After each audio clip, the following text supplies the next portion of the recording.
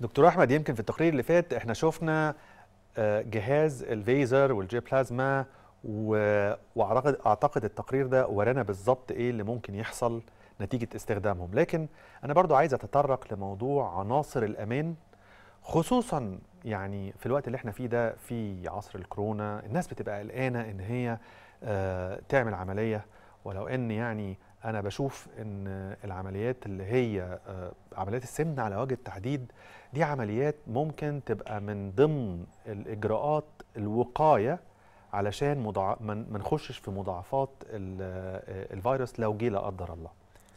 بص حضرتك هو إحنا آه، في الأول خالص كنا بنقول أو كنا نأمل إن فترة الكوفيد 19 دي تبقى فترة قصيرة وقلنا إن مفيش أي حاجة غير ضرورية يفضل تتعمل في الفترة دي. لكن بما إن إحنا شايفين إن الموضوع ممكن يعيش معانا سنين فلا بد من التعايش معاه. ولا بد من آه، أخذ الإجراءات والاحتياطات الوقائية وإن الحياة تمشي بط- بطبيعتها.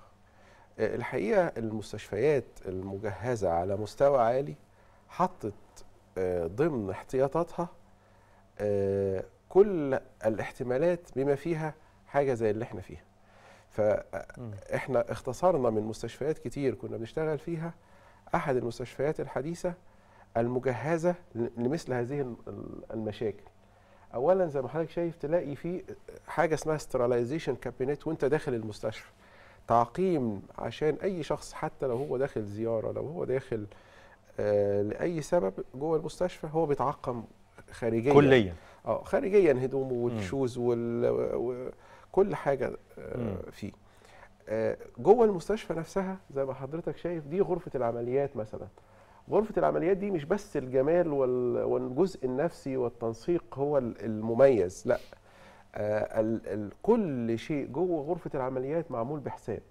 الحوائط تمنع تراكم أو ان البكتيريا أو الفيروس تقف عليها. حاجة اسمها galvanic anti-bacterial anti-static الهواء جوه غرفة العمليات ما ينفعش ينتقل من شخص لآخر في. حاجة اسمها laminar flow بتاخد الهواء وتطلعه على فوق في مسار خاص آه الاحتياطات لل- لل personnels نفسهم والأعضاء ال team الطبي سواء أطباء أو أو تمريض عايز أقول لحضرتك التمريض بيغير ال- اللبس بتاعه ديسبوزابل بيغيره أربع مرات في في, في, في اليوم مم. يعني آه، كل الطرق الوقائية طبعا من الأول المستشفيات دي ما بتستقبلش أي حالات حتى فيها اشتباه كورونا.